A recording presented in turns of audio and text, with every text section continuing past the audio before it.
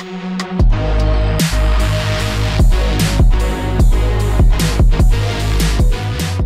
everyone. Uh, thanks for attending this talk after this journey of hands-on workshops and uh, all these talks.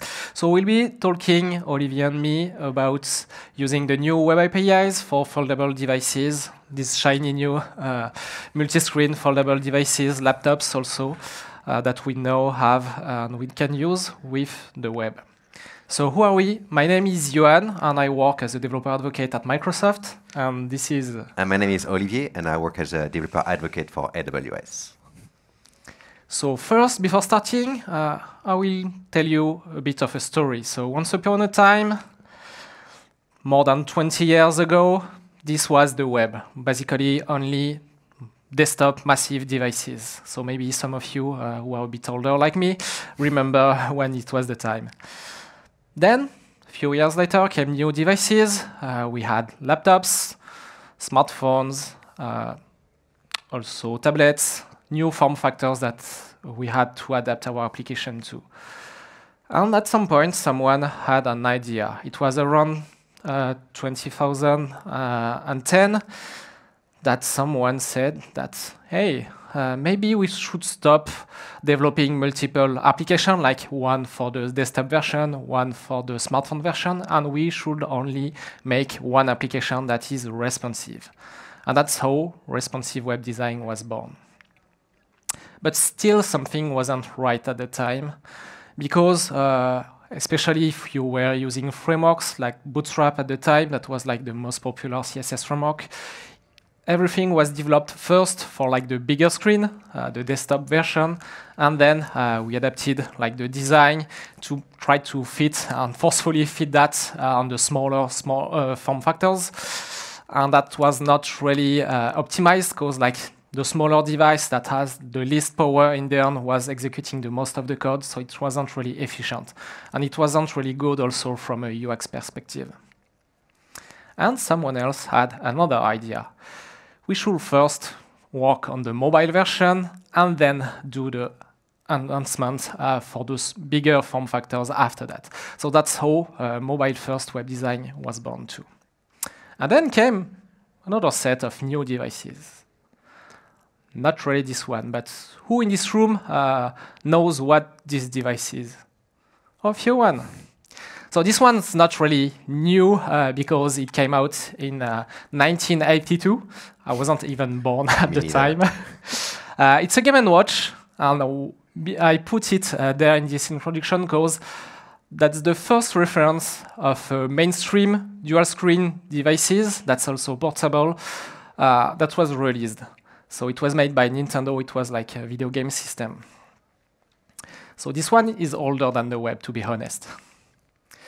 Few years later, in 2004, came the Nintendo DS.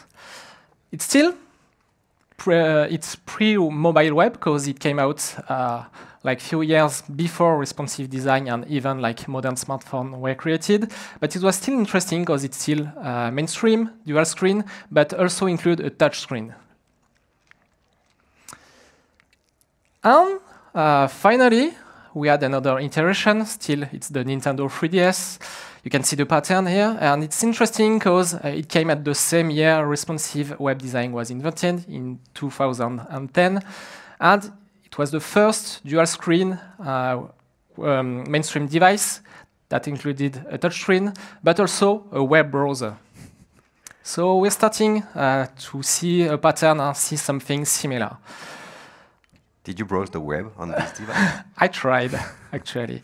And then, 10 years later, in 2020, you can see similarity in the form factor, uh, came new sets of devices like the Surface Duo and many more that came uh, at the same times, like the, the Galaxy Fold and like uh, this shiny new laptop that was recently released uh, by Asus. So, now, where to begin uh, if we have a web application and you want to take advantage from a user experience perspective of these new form factors and design.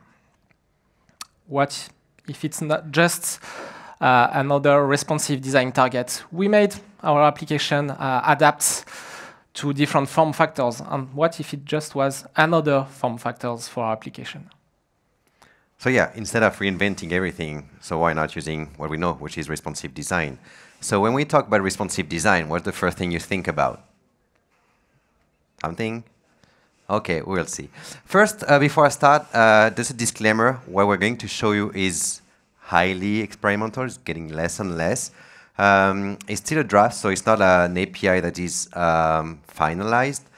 Um, so yeah, be careful if you implement it. Just don't put it in production.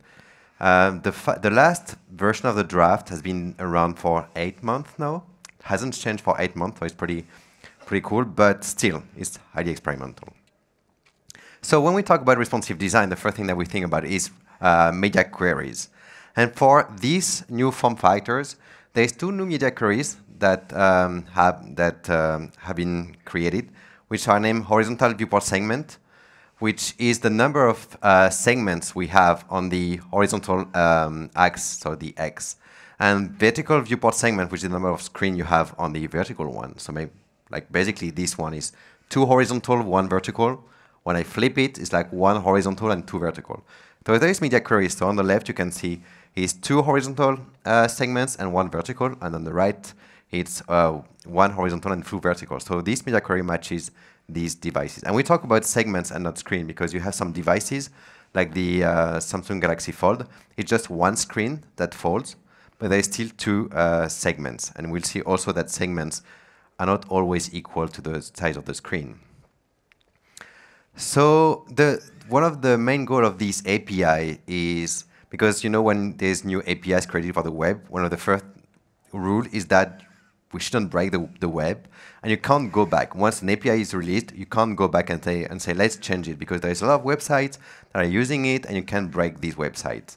So the last iteration of the APIs is like that because it uh, allows you to think about what can come next in the web. So having this, if we have this media query saying we have horizontal viewport segment 2, this is this factor.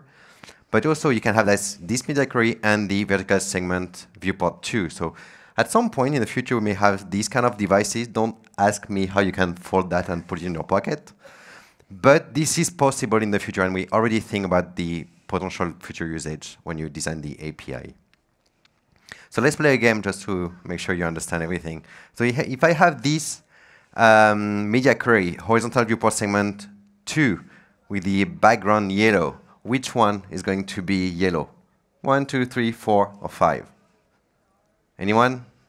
Yes, four, four, four. Yeah, perfect. This one is the one who is going to be uh, with a yellow background. So pretty easy. Also, um, because we have different viewports, you may want to know uh, to have more information about these viewports. And we have some CSS uh, environment variable. I don't know if you use these. They're not that common, even though we see them more and more. But we have all these. So basically, for every viewport, you can have the width, the height, the uh, information about the, um, the coordinate of the top, left, bottom, and right. And basically, your viewports are like a ma matrix. So top left is 0, 0, then it's 1, 0, 2, 0, 3, 0, and then 0, 0, 0, 1, 0, 2, 0, 3. So basically 0, 0, 1, 1, 2, 2. You get it? It's a, it's a matrix. And it's very useful when you want to target just one particular screen. So that's for CSS. So you know how to do media queries, but sometimes you may want to also um, manipulate your DOM uh, using JavaScript. So there's an API for that. On the viewport object in the in the window.viewport, there's the segment uh, object now. And if you just have one screen, so let's say I have this device, and so when I open it, so I have one screen which is black, so it like doesn't exist. So I have one screen. That returns null. It's the same if I have that like a normal smartphone. So it returns null, but if there's like more than one um, viewport, then you have an array of uh, DOM rect which is uh, sent back to you.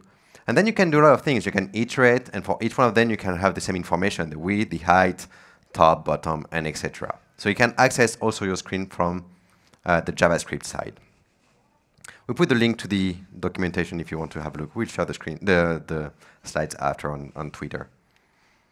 Okay, uh, just one thing, because I mentioned earlier that screen is not a viewport, because um, here, for example, you can see two viewports, even though the two screens have the same size, just taking into account that the browser has a URL bar at the, at the top. So the viewport A is smaller than the viewport B. So don't assume that I have the size of the viewport, all the screen have the same size, so other viewport have the same size. It's not the case.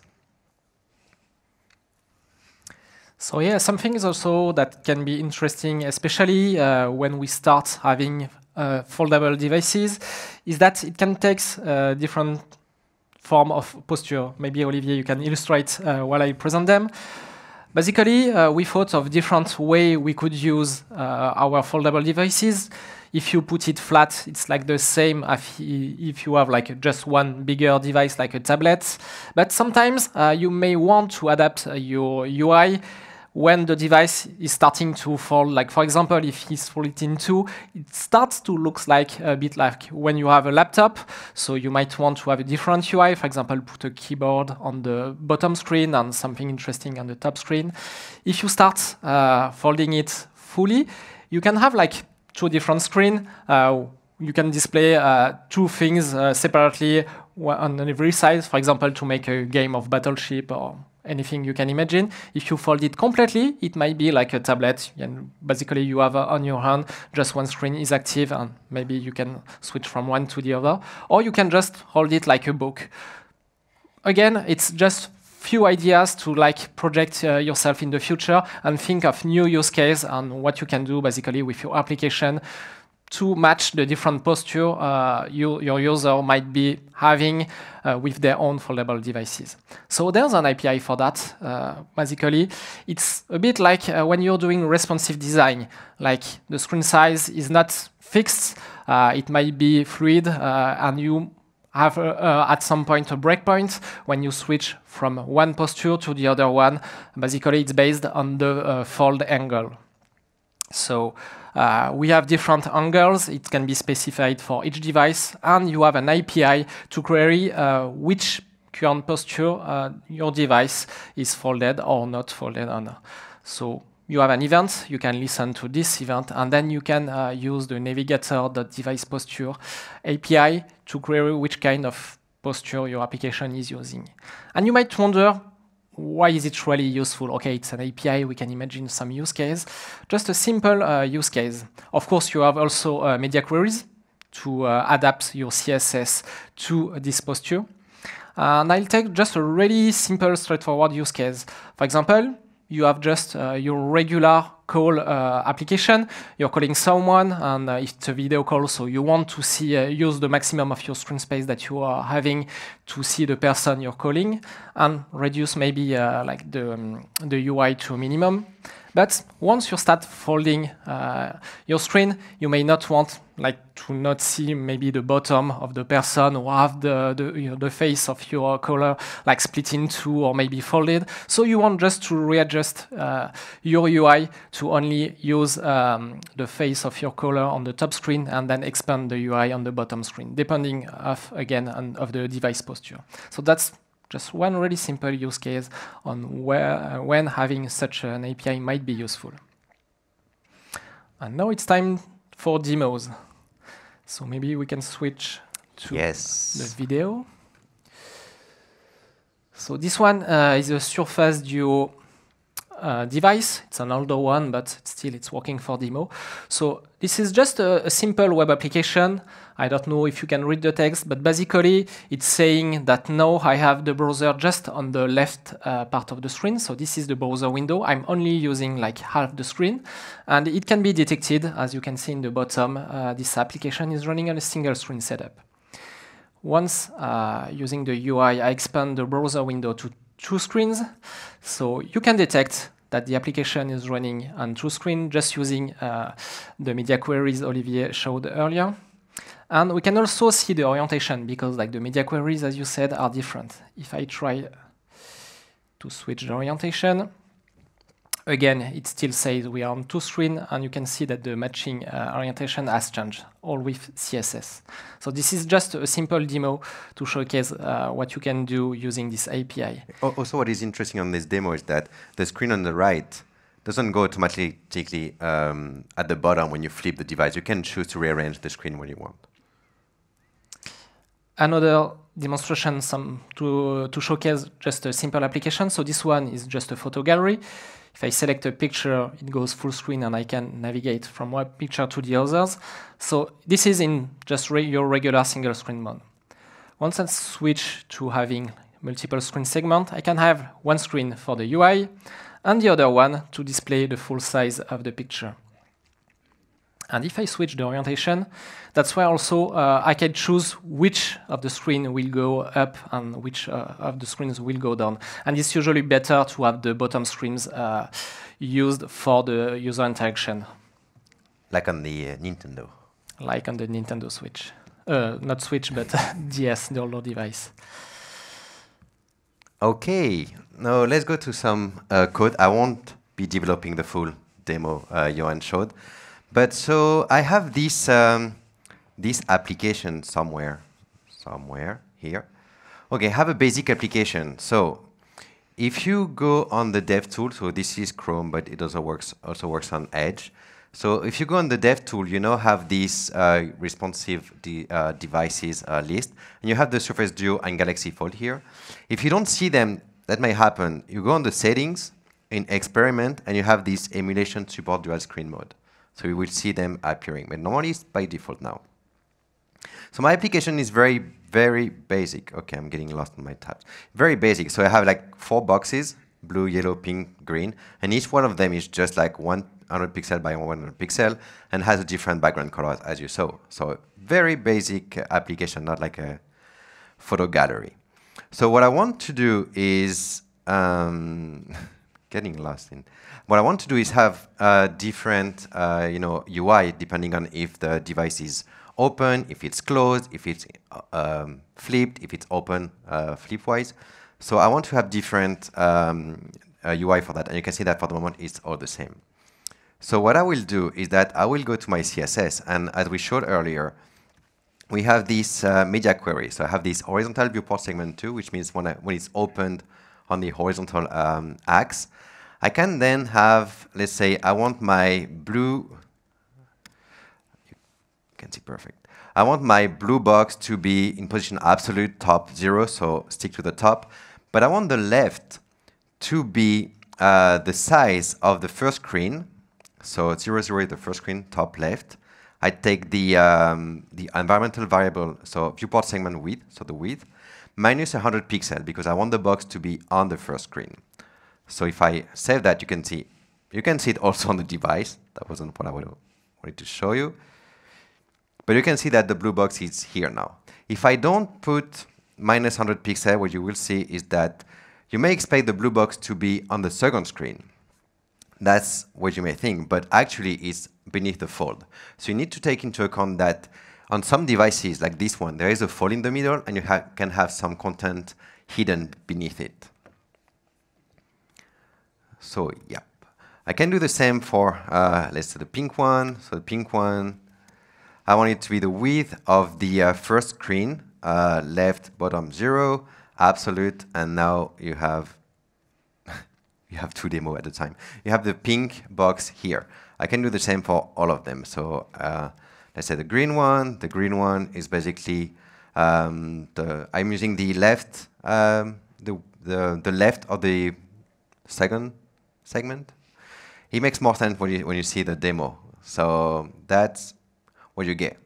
The green is here now, and the last one, I have the yellow one.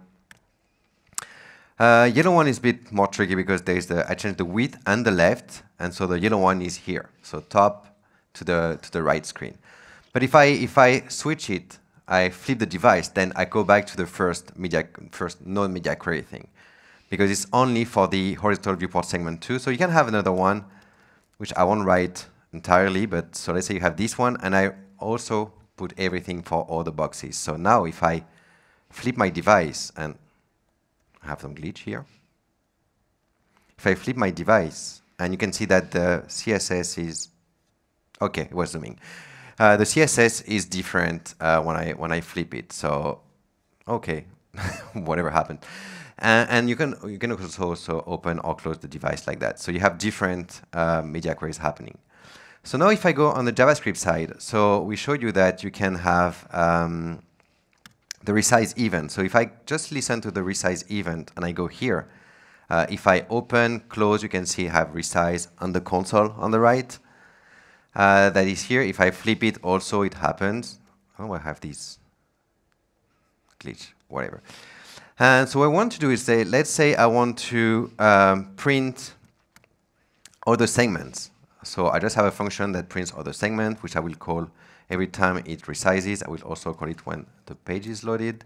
And so what it does is that it takes all the, the viewports and it just uh, displays them. Console on table, if you don't know what it does, in Chrome, it displays as a table when you have a lot of JSON which is uh, formatted the same way. So here you can see that I have two, um, two viewports. If I have just one font or it's folded, then you have null, which we showed earlier. So I can open it, flip it, and, and it works. Also, I, you, I can show you uh, directly on the device. So if I go here on the device, so I have it opened, I can inspect it. So here what you see is the device. So if I go on the left, you can see on the left. If I open it here, uh, I put it on two screens. So you can see that I have the array here. If I flip it, you can see that I have the other array. So that's when you see that the two viewports don't have the same height. One is 464, the other one is 488 because I have the URL bar um, at the top here. So the two viewports don't have the same size. And that's it for the demo, and I hand it back to you. Okay, so now how can you set up uh, your development box to try these new APIs, even if you don't have like a foldable device to, to test your design?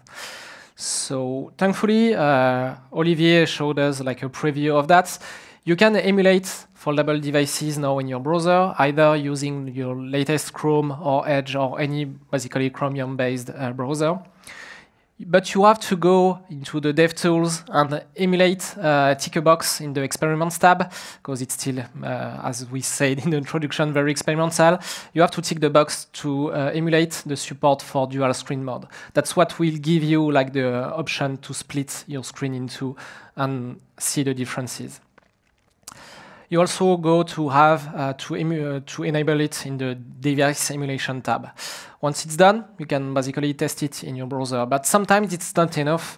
Uh, to be honest, the first version of this talk, when we tried to write the demos, it was working fine in the browser. But as soon as we tried on the real devices, there was some differences uh, because at the time it was still a draft and uh, the API being experimental, some things were implemented differently.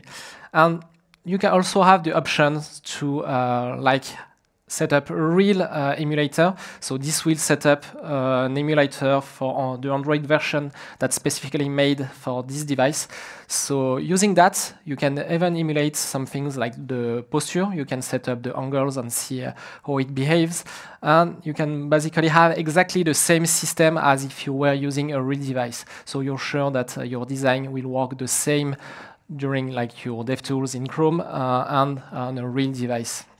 So if you plan to play a bit with that, uh, I highly recommend it that you use uh, either uh, emulator available to test just like uh, if it was on a real device. And then uh, we thought about something that Olivier, your demo, I think was really nice. But to be honest, I hate writing CSS code. I don't know about you. Uh, who likes to write CSS code in there? I do. uh, I see also a lot of hands not raised. so that means maybe uh, I'm also a bit right.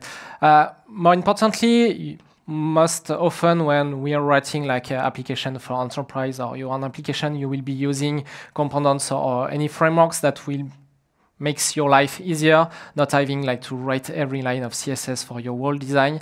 And I wanted to experiment a bit about that, to think about what could be like uh, our next generation frameworks to make writing, uh, adapting at least our designs for foldable devices uh, like this one, a bit simpler than just writing everything by hand, uh, having to write all the CSS and stuff. And sorry, that's not what was planned. And I kind of tr uh, I tried to create uh, an Angular library. So I had a colleague also write something for React if that's what you prefer. And I tried to make some components so you don't even have to write CSS to adapt your existing application to uh, foldable devices. So it's specific Angular code, but basically what it's doing, it provides you components. So you just have to update the template part of your application to say which part of your application should be always displayed when you are in a single screen mode, which part should go on the second screen, and basically uh, if you want to flip or not the screen depending on the orientation. And that's exactly what I used when we showed earlier the demo of the gallery application or the just simple demo uh, to detect everything. I basically use that library. So if you're interested to dive a bit into that, uh, you will have the, the link at the end, but I uh, made a simple exercise. I took an existing demo. I didn't fully write uh, the gallery demonstration uh, I showed earlier. It was uh, written, I think, by someone at Intel. And the original demonstration was just using plain uh, CSS and JavaScript. I, I, made a version of that application just using Angular without touching anything of the CSS code. So there's a, a repository you can have to see what looks like the application when uh, it will be like Olivier writing all the CSS stuff. And then I migrated the application to use the library, and that basically removed all the specific CSS code to manage foldable devices.